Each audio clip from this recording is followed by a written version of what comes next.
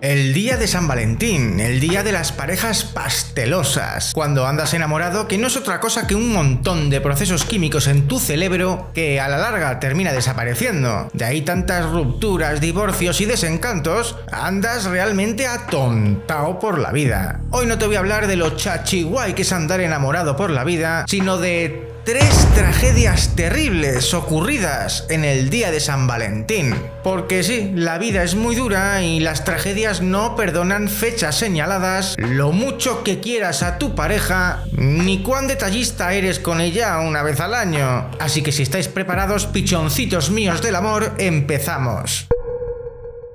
El día de San Valentín de 1945, lejos de ser una celebración de amor, se convirtió en una jornada de terror para Praga. En lugar de la ciudad alemana de Dresde, el verdadero blanco, las fuerzas aliadas descargaron su furia sobre la capital checa. Este brutal ataque aéreo se cobró la vida de 701 personas y dejó a casi 1.200 personas heridas. Además, numerosos edificios y sitios de importancia resultaron pues en cenizas, dejando prácticamente a 11.000 personas sin hogar, lo cual, quieras que no, pues te destroza un poco tus planes. Todo este trágico incidente se debió a fallos de navegación. Los radares de los aviones estaban fuera de servicio, lo que llevó al octavo ejército de las fuerzas aéreas a estimar manualmente las distancias, así, a ojímetro. Desafortunadamente sus cálculos fueron pues totalmente erróneos. Como resultado de este error, el escuadrón lanzó 152 toneladas de bombas a la ciudad de Praga. Un error humano fatal. Pero mientras tengamos amor, pues todo sobra, ¿verdad?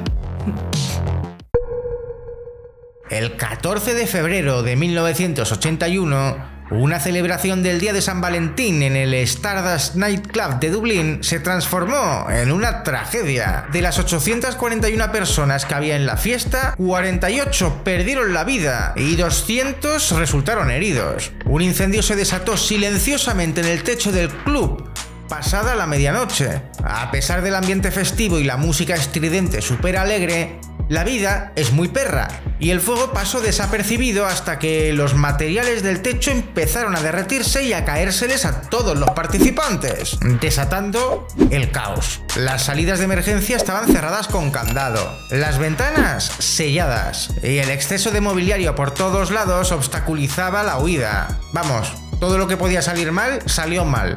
Aunque los servicios de emergencia acudieron pronto al lugar, mucha gente pereció y los hospitales de Dublín se colapsaron. Se determinó que el incendio fue intencional. Algún pirómano había en la sala o a lo mejor su pareja la había dejado y estaba mm, cabreado. Pero en el año 2022, más de cuatro décadas después, tanto las familias de los fallecidos como los amigos han vuelto a reabrir el caso para esclarecer quién quién demonios lo hizo, porque nunca se supo.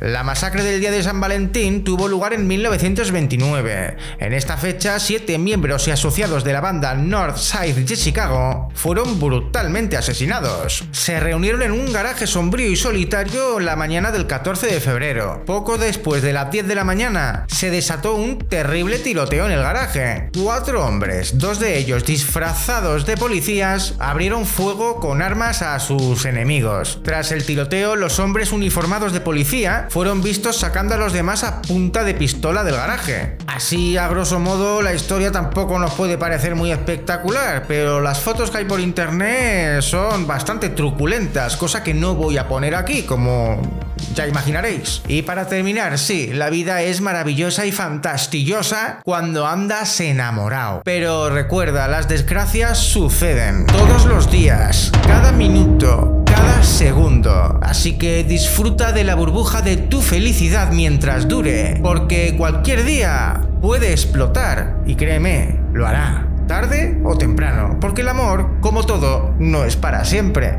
Y sí, creo que habéis podido notar que no soy una persona demasiado romántica ni detallista, pero puedes fijarte en este detallazo. En este top calenturiento te enumero los 8 asesinos seriales más atractivos. Por si andas soltero o soltera y buscas pareja fuera de Tinder. Quizá te gusten las emociones fuertes y busques otro tipo de chico. Quién sabe, quizás encuentres a tu media calavera